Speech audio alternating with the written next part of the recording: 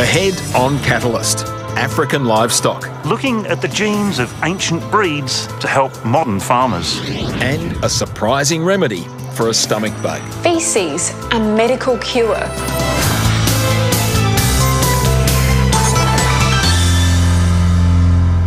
G'day, welcome to Catalyst. Also on tonight's episode, take Jonica's canine concentration test. Quickly grab a pen and paper. And pachyderm problem solving. But first, no one wants their credit card details falling into the wrong hands. Well, here's Ruben with the prime way of keeping your money safe, using numbers as keys. Billions of dollars crisscross the internet every day. But all this e commerce wouldn't be safe without some very special numbers. They're called prime numbers, numbers divisible only by themselves and one. And they've long fascinated mathematicians like my friend Simon Pampena. Hey, Ruben. Hey, Simon. What's this? This is a prime number. Hang on. This whole thing is one number? Yep. It's 2 raised to the power of 43,112,609. Take 1. Whoa. And we know that this is prime? Correct. It's been verified by computer to be the largest one known to date. So hang on a minute. You're saying this one gigantic number is only divisible by itself and 1? You got it. It's indestructible. That's amazing. How many pages is it? 4,376. That's incredible. So, why are prime numbers so useful for internet security? Okay, it works like this. Start with two really big primes, call them P1 and P2, and then you multiply them together to get a composite number we'll call C. Okay, and C is not a prime number? No, of course not. But the point is that while computers are very good at multiplying numbers together, if you start with C and try working back to get P1 and P2, it turns out to be super hard. Ah, right. So then what? So, this number C is used to generate what's called a public key, a code that's available for anyone to use. Hence, public key. Yeah. The bank sends you this public key, which you use to encrypt your credit card or what have you, and then it returns back safe and sound. So then what? But P1 and P2 are used to decrypt this code, so they have to be kept secret. They're what's called the private key. Right, so they're not beamed across the internet? No. Only your bank or whoever is receiving your information knows what P1 and P2 are. So they're the only ones that can access my credit card. Okay, but what if a thief does intercept my message? Not a problem. A hacker using a state-of-the-art computer system would need a thousand years to find the original primes and crack the code. Your bank already knows P1 and P2, so it can do it in a second. Ah, but isn't there some kind of catalogue of all the known primes that a hacker could use to crack my code? Mm, well, this is the crazy thing about primes. No one has a complete list. This Goliath is the largest prime found so far, but the number of primes yet to be discovered smaller than this one is a number the same size. Take off a couple of digits. Right, so then how big is the next biggest prime number going to be? Nobody knows. It's a mystery. Ah, well, there you go. It's just another one of those things we just don't know. Ahead on Catalyst, can you comprehend your canine?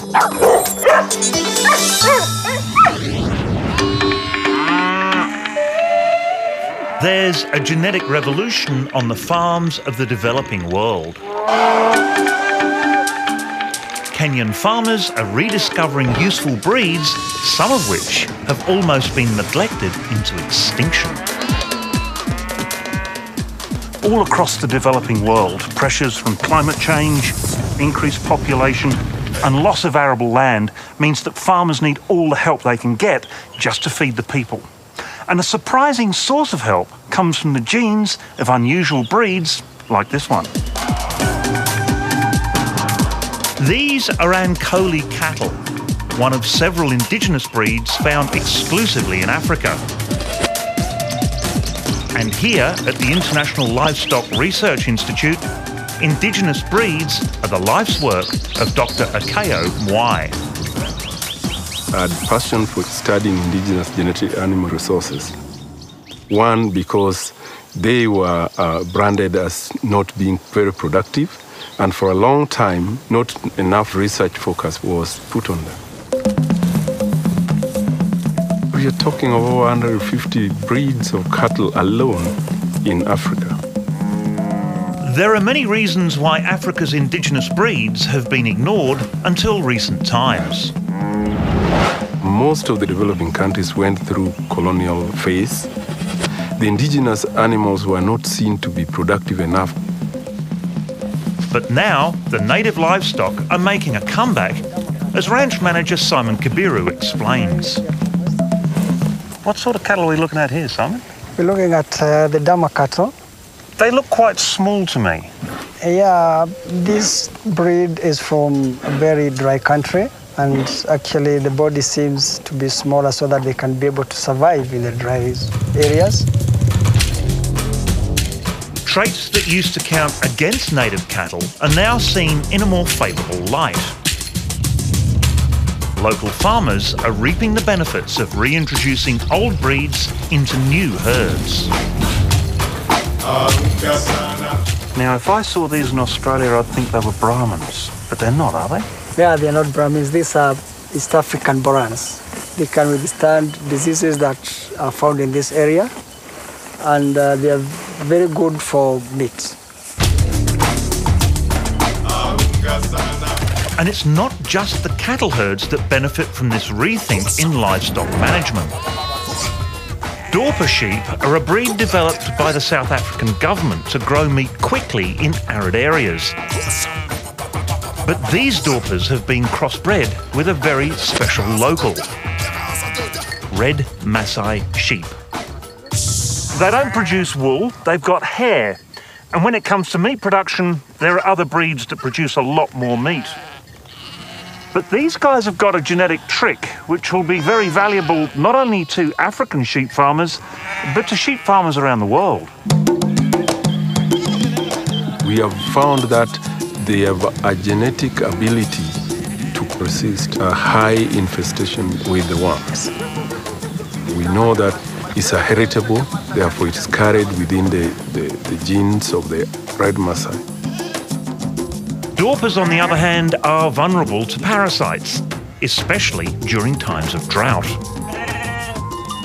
This animal is very anemic. Anemia is one of the first signs of worm infestation. So this is a Dorper animal. It's anemic, lots of worms. Last year, when we had one of the worst drought, most of the people here lost almost 60% of their Dorper herd. By introducing the red Maasai bloodline to the Dorper flock, farmers hope for the best of both worlds resistance to worms while maintaining a decent body weight. It's a balancing act between genomics and economics. Okeyo has been working with this farmer for over 20 years to improve his flock. It all paid off during the drought when his herd came through with fewer losses than many of his neighbours. Okeyo, I'm no sheep expert, but these sheep look to be in better condition. They look fatter than the ones that we saw earlier on in the day. And yet the land seems to be about the same. So what's the difference? What's happening? Oh, the difference is very simple. This uh, farmer is keener. He's been doing his breeding much better. He's more focused and started earlier returning to the red Maasai, indigenous red Maasai sheep. Back in Nairobi, Okeyo keeps extensive stud books and other data tracking the successes and failures over many generations. Whereas the best animal Today, he can also call upon DNA technology to assist him in the quest for a better African flock.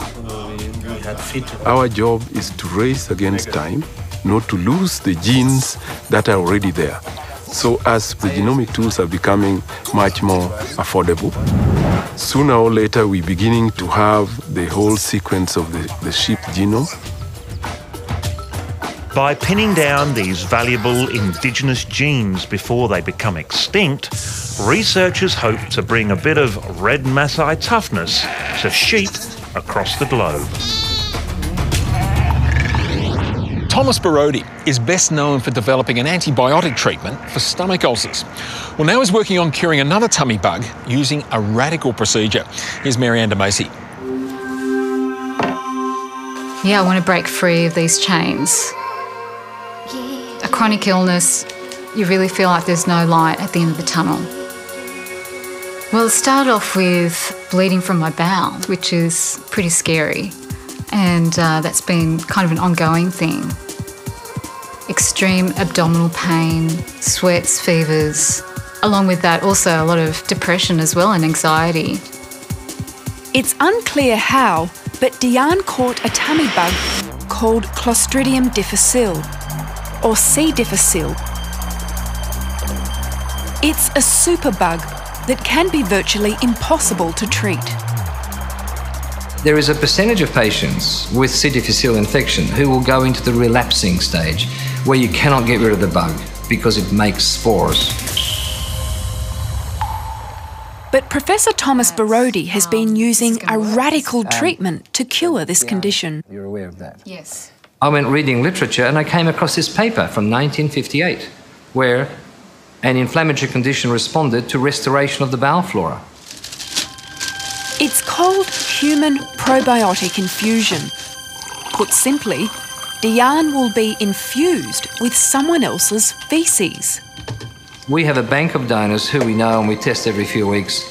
Donors have to be healthy people who have been screened for any known poss- possible disease and their stools are tested. With some saline homogenized in a blender, filtered through a simple kitchen type filter until it's able to be injected through a channel inside the colonoscope. It's hard to believe that this feces could be a medical therapy. Bowel flora is made up of huge numbers of bacteria. So, poo is a zoo. It contains living animals, you can call it, bacteria. So, it's a living organ that lives inside our colon. It has a few jobs, including destroying the waste. It itself is not waste. So, the transplantation procedure brings in bacteria which were removed and they implant I'm about to follow Diane as she undergoes this confronting treatment, which she hopes will change her life. Big day for you today? Yes, it is, and I'm, I'm just so excited. Yeah. Yeah. So you don't feel too icky having some donor fecal material being transplanted in? I know that it does sound a bit gross and a bit undignified and not very ladylike, Yeah. but um, at the end of the day, I just want to be restored and have my life back. Yeah, exactly. C. difficile releases a toxin that destroys the bowel lining and causes ulcers. The symptoms are similar to severe food poisoning and in extreme cases can lead to death. The worst strain that we know of started in Canada around the year 2000, where it is thought it mutated and produced the super strain. It's now moved into North America, and the first strains have arrived, but they're in very low numbers in Australia. Should we be concerned about this? I think we should be. There are measures that have been put in place to try and prevent the spread of it. But once a hospital is infected, it's very difficult to disinfect the hospital. Dr. Borody is not being an alarmist. He says this infection has become an epidemic in the US, killing around 300 Americans every day. So Michael had pretty bad inflammations throughout. He believes antibiotics are one of the major causes. Overuse of antibiotics can certainly damage your bowel flora, or the microbiome as we call it. And so for the last 50 years, we have been hitting our bowel flora with antibiotics. And so now we're trying to repair it. Seven years ago, Coralie was struck down by a strain of C. difficile after taking a course of antibiotics for a simple dental procedure. I couldn't believe I was in so much pain that I, I well, I really thought that my life was over. So, changed everything.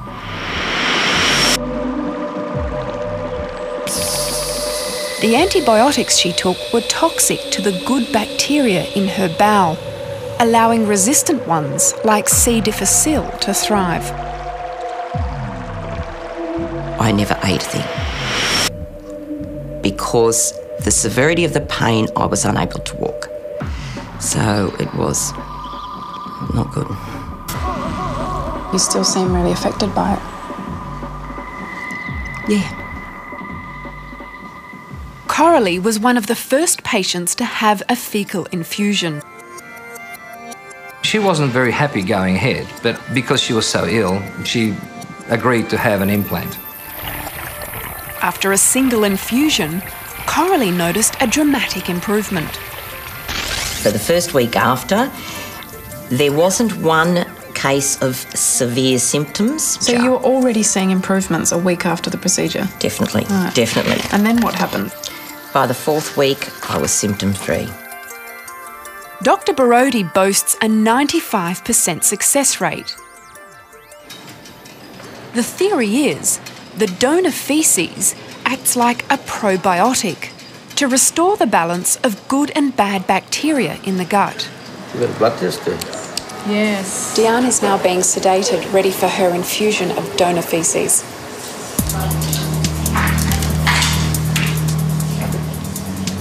A routine colonoscopy reveals the extent of damage in her bowel. Certainly does look quite ulcerated, doesn't it? That's a colitis. Quite bad. A lot of cobblestoning and pseudo polyps. Us. Thicker, yeah, she didn't go well. It's time for the fecal slurry to be infused in Diane's colon. These bacteria have been through a blender, so they're kind of dizzy. And after a few hours, they find an environment there which is warm, dark, and it becomes their new home. This is the last syringe going in now, and we're just going to flush it through with some saline. 60 to 80% of the donor stool bacteria remains in the recipient, and I believe they make molecules which kill off not just the bugs, but also the spores. Are you happy with the procedure? Yes, I'm happy with what we did. So, what do you expect in the next couple of weeks? Well, she should reduce having a frequency of diarrhea, and if you look inside there again, it'll be more healed. She will have less urgency and possibly less blood being passed. Dr. Borody says our attitude towards feces needs to change.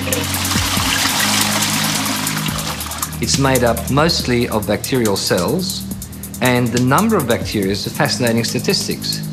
There's about nine times more living bacterial cells in our stool than there are living cells in our body. So, in effect, we are 10% human and 90% poo. The big question now is whether this rather rudimentary science will move beyond the need for using human feces. Ultimately, there will be a non fecal method of doing it, but I think that might take some years. So, how are you feeling? Um, I'm feeling good, considering. Yeah, it's still just a, a little bit uncomfortable, but you know, I feel really just mentally at peace. What are you looking forward to most? Just regaining those uh, natural pleasures of life because this condition has left me completely spent. Yeah. And so, just have the energy to enjoy life, live life, and live it to the full. So, that to me is just going to be the best. Three weeks later, Diane is free of stomach pain. And she's hopeful she'll stay that way.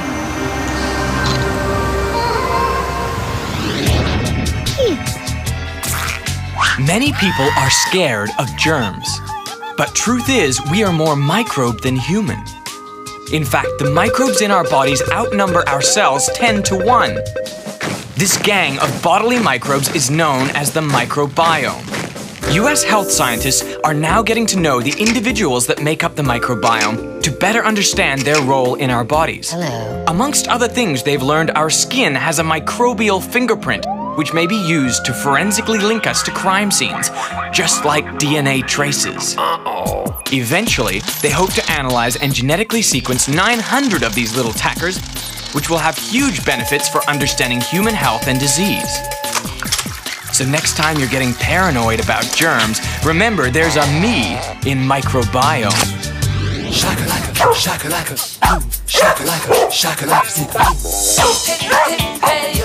So you think you can speak dog? Let's find out, shall we? This is an audience participation section, so one of you in the room quickly grab a pen and paper. Now, I have here a series of dog barks, each recorded in a different situation, And you lot are going to tell me what the dog meant by each bark. Isn't that right? Here are the situations A. Left alone.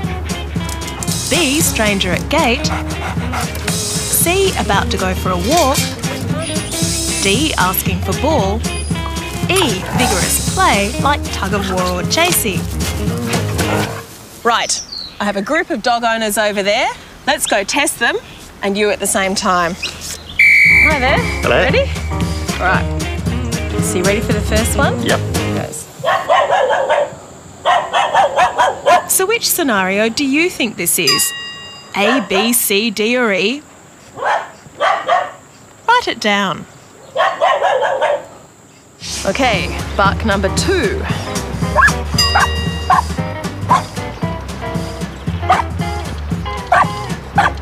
Bark number three.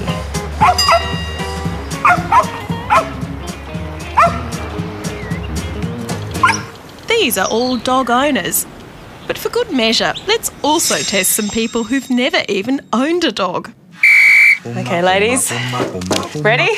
Ready. And you've never owned a dog, is that right? That's correct. Okay, Faye. Okay. Ready? Take Thanks, this. Jonica. Part number four.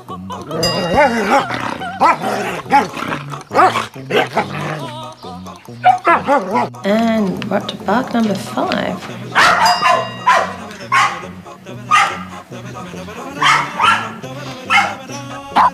And what do you at home think? Okay, you ready for the results? Number one was B.